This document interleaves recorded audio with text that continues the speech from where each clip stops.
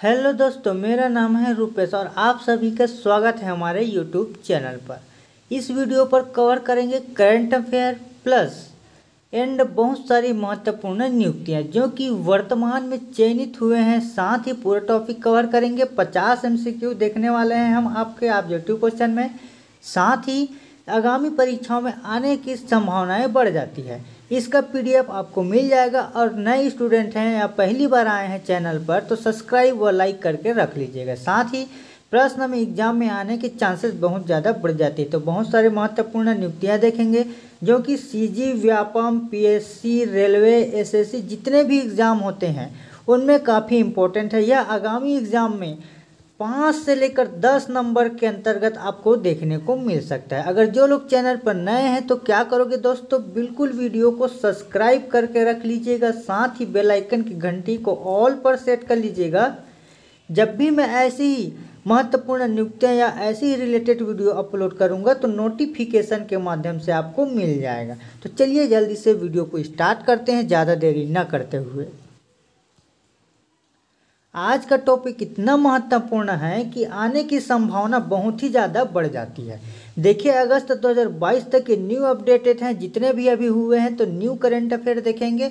और आज का क्वेश्चन रहेगा 50 एमसीक्यू रहेगा, जो कि आगामी एग्ज़ाम में आने की संभावना, यानी कि चांसेस बहुत ज़्यादा बढ़ जाती है। ठीक है तो वीडियो को लाइक करके रख लीजिएगा। साथ ही बेल आइकन की घंटी को ऑल पर सेट कर लीजिएगा। ठीक है, चलिए जल्दी से वीडियो को स्टार्ट करते हैं। तो आज का पहला प्रश्न है आपका। भारत के देश के नए राष्ट्रपति कौन बने? तो देखिए, जो भारत देश के नए राष्ट्र बने हैं, द्रौपदी मुर्मू जी हैं। वो भी पंद्रहवा। ठीक है, इसको नोट कर लीजिएगा, मैं आपको बहुत ही अच्छी कंटेंट देने के तैयार में हूँ।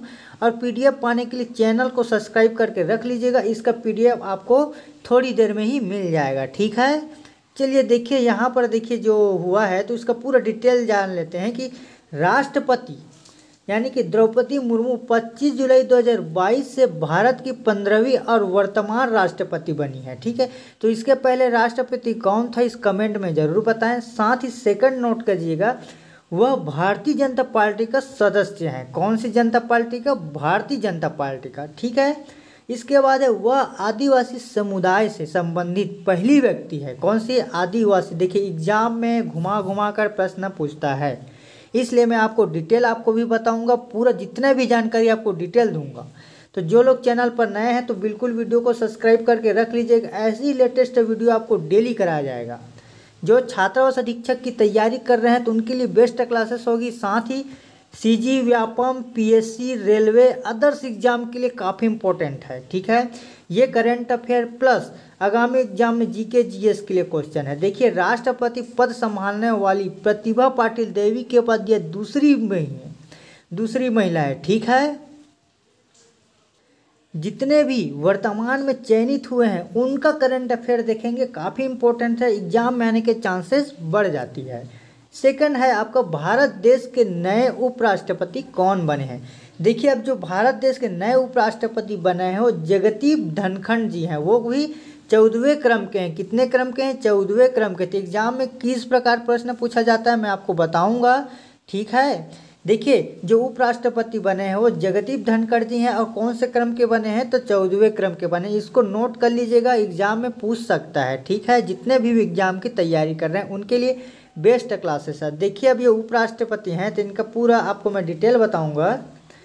जगदीप धनखड़, यानी कि जन्म 18 मई उन्नीस यानी कि एक भारतीय राजनीतिज्ञ है जो भारत के निर्वाचित चौदहवें उपराष्ट्रपति हैं। उन्होंने पश्चिम बंगाल के राज्यपाल के रूप में कार्य किया है। तो कहाँ पहले कार्य किया? तो पश्चिम बंगाल के राज्यपाल के रूप में कार्य किया है। देखिए, यहाँ पर इसको नोट कर लीजिएगा, ठीक है? इसको नोट कर लीजिएगा। साथ ही वह भारतीय जनता पार्टी के सदस्य हैं, ठीक है? इसके बाद देखेंगे, उन्होंने उन्होंने चंद्रशेखर मंत्रालय में संसदीय मामलों के राज्य के मंत्री के रूप में कार्य किया है। ठीक है? देखिए, उपराष्ट्रपति से कितने क्वेश्चन बढ़ रहे हैं? उपराष्ट्रपति से कितने क्वेश्चन बढ़ रहे हैं? इसको नोट करते हुए चलिएगा। ठीक है? और उन्होंने 2022 का चुनाव 74.37 परसेंट वोटों के साथ जीता है। तो इसको भी नोट कर लीजिएगा, ये वाला स्थान को।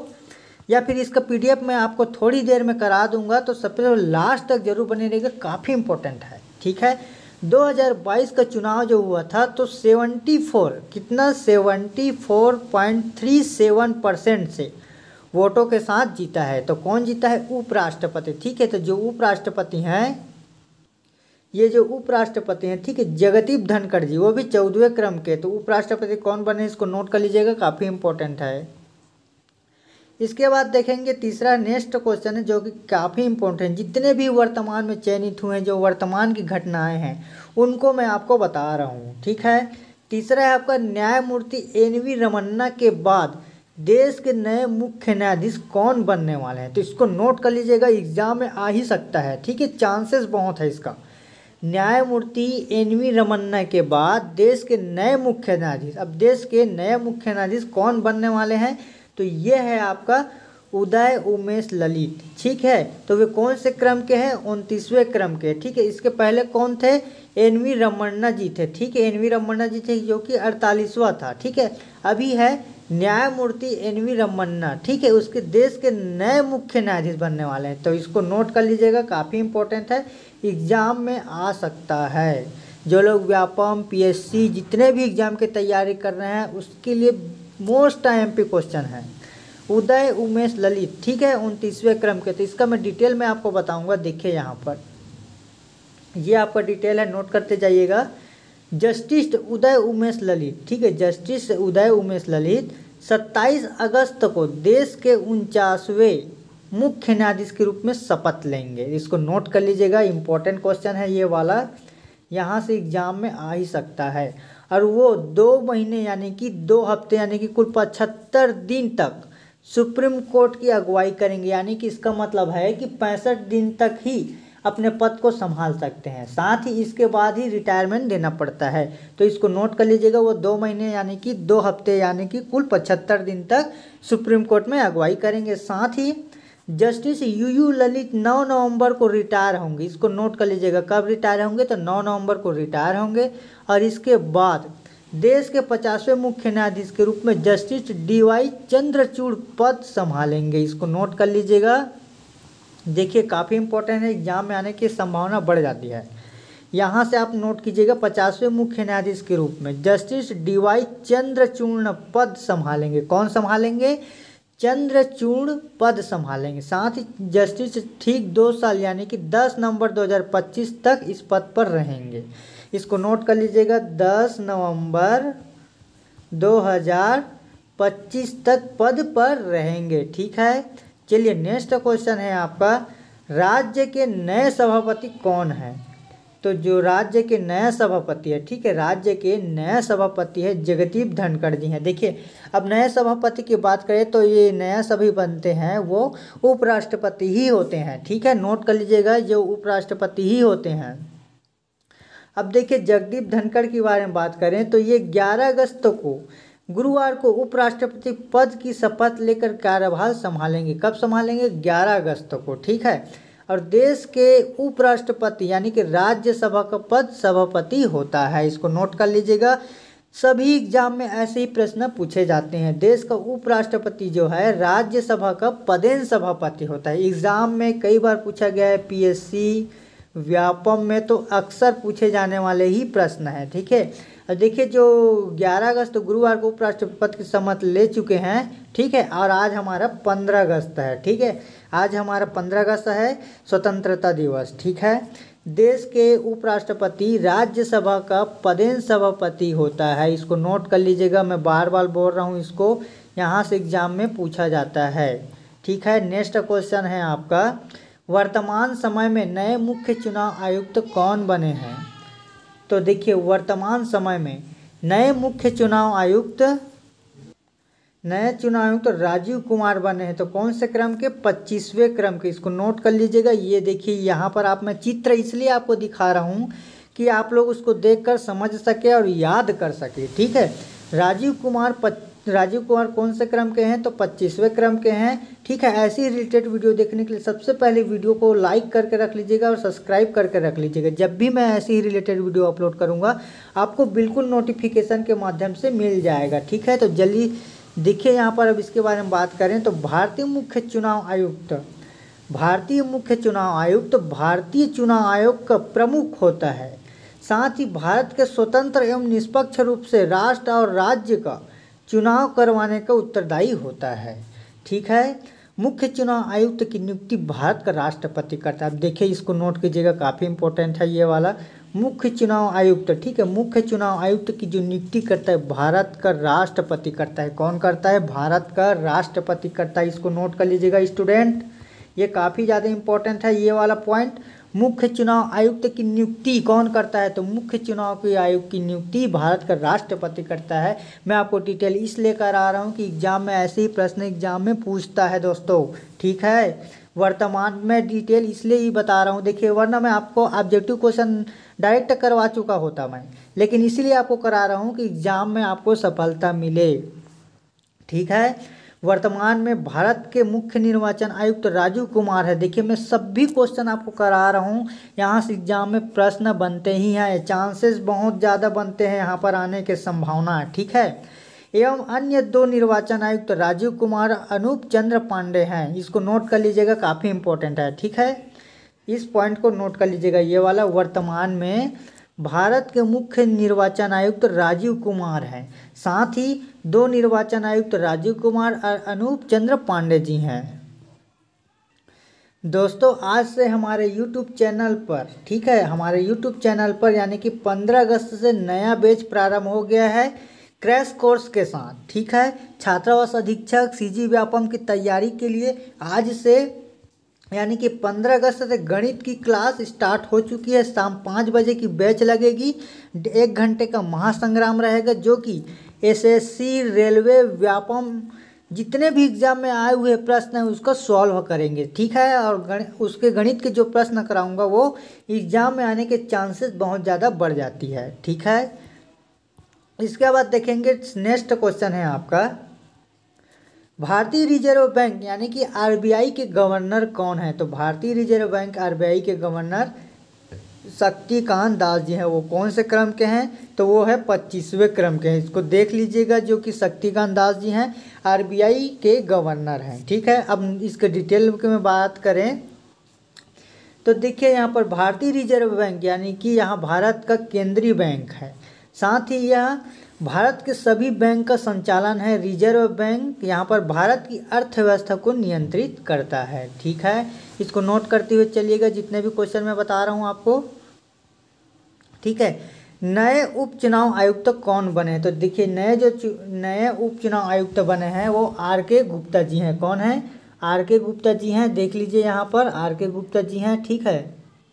इसके बाद नेक्स्ट है आपका नए नियंत्रक एवं महालेखा परीक्षक, यानी कि सीएजी कौन बने हैं? जो सीएजी हैं, वो गिरीश चंद्र मुर्मू जी बने हैं तो कौन से क्रम के बने हैं? तो देखिए ये चौदहवें क्रम के बने हैं। कौन से क्रम के बने हैं? चौदहवें क्रम के बने हैं, ठीक है?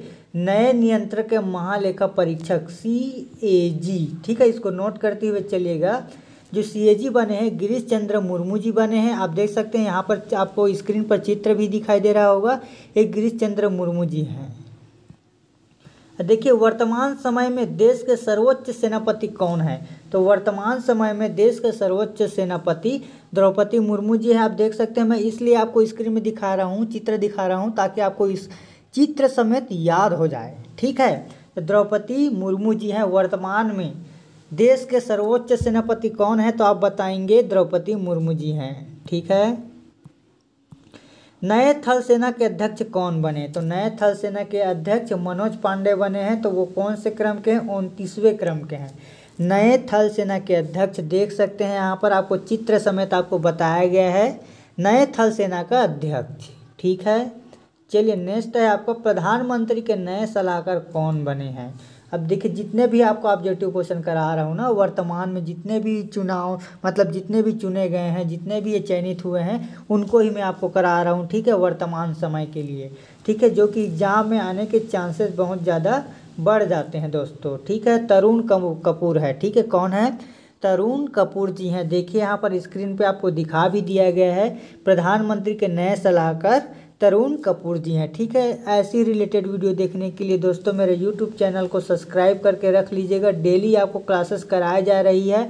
बहुत ही इंपॉर्टेंट क्वेश्चन आपको करा रहा हूँ, जो कि एग्ज़ाम में आने की संभावना बहुत ही ज़्यादा बढ़ जाती है दोस्तों, ठीक है? तो वीडियो को सब्सक्राइब कर लीजिए, साथ ही बेल आइकन की घंटी को ऑल पर सेट करके रख लीजिएगा और लाइक करते हुए चलेगा, ठीक है दोस्तों? जितने भी वीडियो को लाइक करेंगे, उसी के पास सिर्फ़ नोटिफिकेशन भेजा जाएगा। चलिए नेक्स्ट क्वेश्चन है आपका कि वर्तमान समय में नए विदेश सचिव कौन है? तो वर्तमान सचिव यानी कि हाल ही में विनय मोहन क्वात्रा जी हैं। देखिए आप स्क्रीन पर भी मैं आपको बता दिया गया हूँ, चित्र समेत याद कराते चल रहा हूँ। विनय मोहन क्वात्रा जी हैं, ठीक है? वर्तमान समय में नए विदेश सचिव, ठीक है?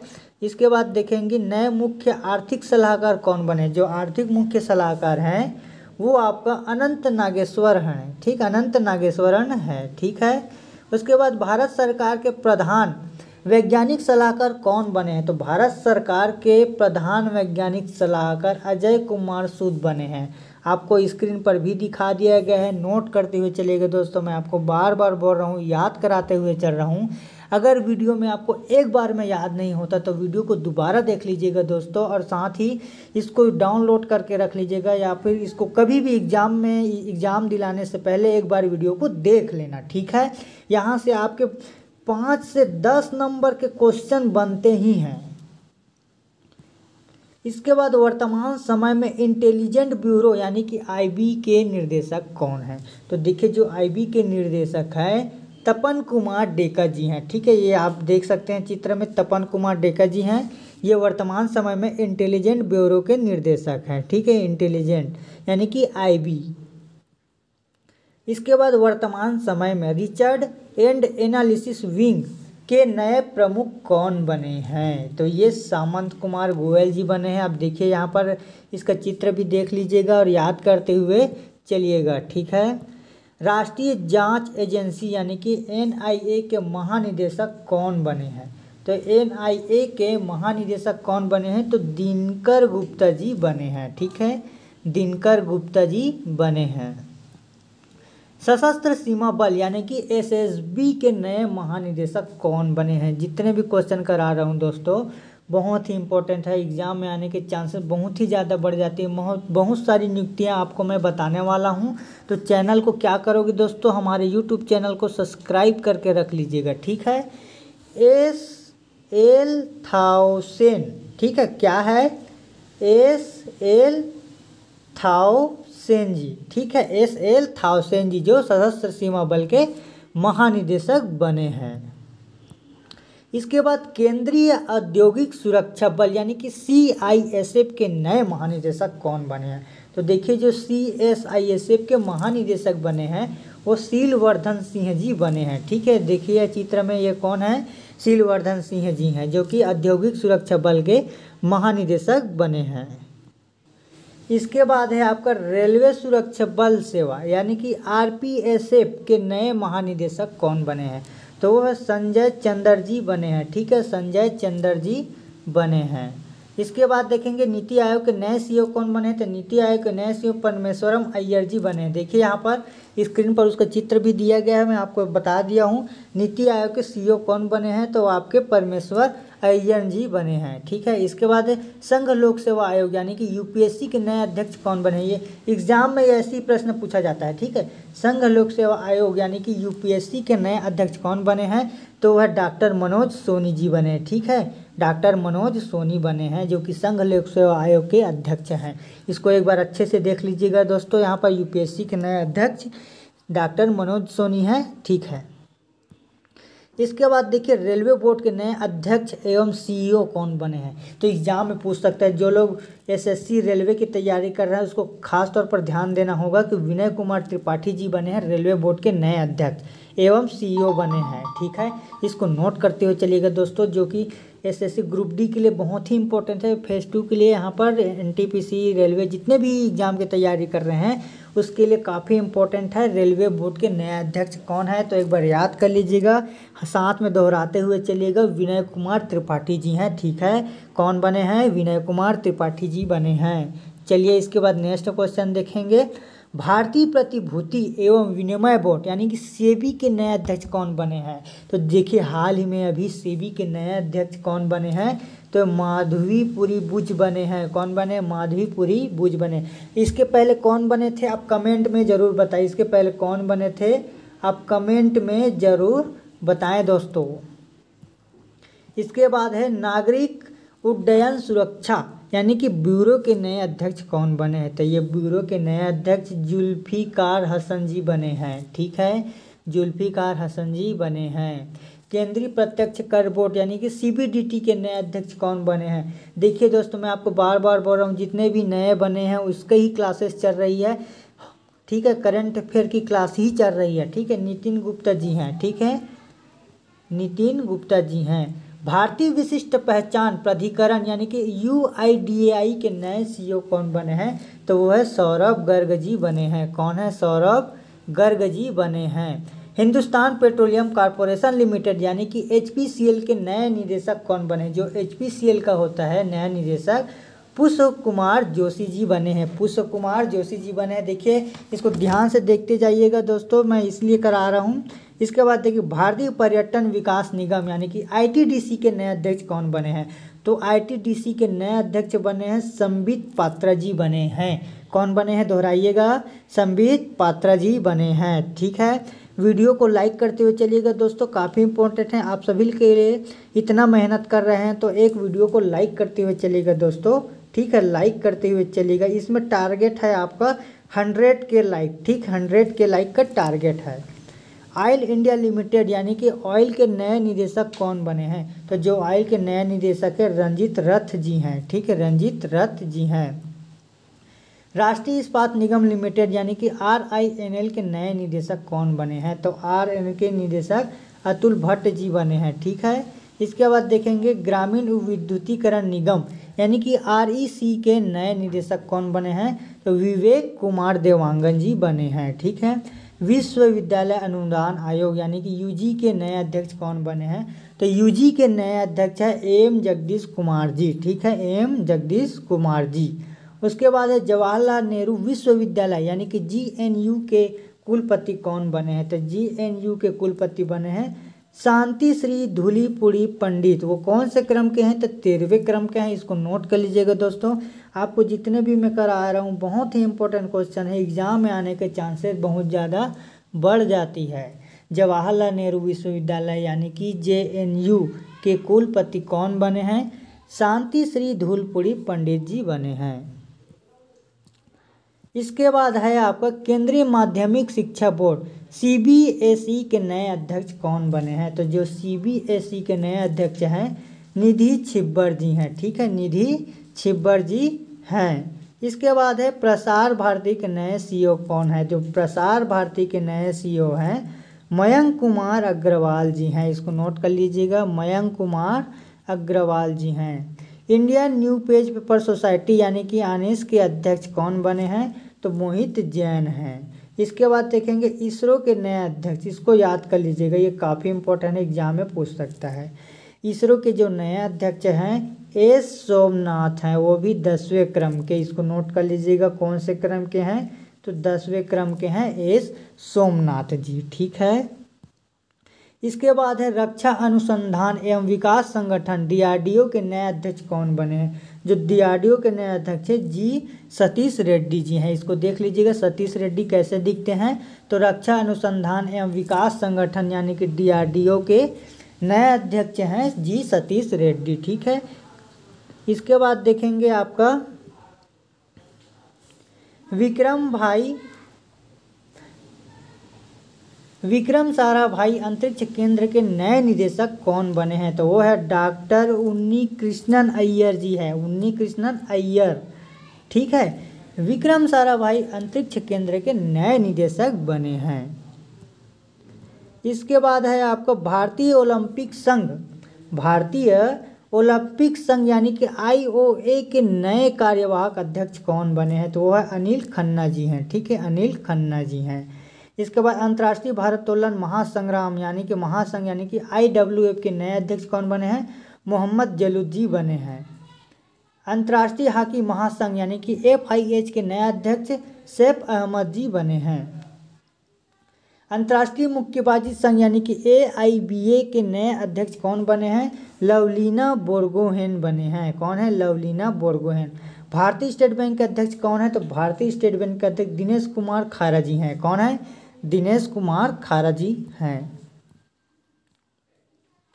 इसके बाद है अल्पसंख्यक मामलों के नए कैबिनेट मंत्री कौन हैं? तो देखिए, स्मृति ईरानी जो है, स्मृति ईरानी अल्पसंख्यक मामलों के नए कैबिनेट मंत्री बने हैं।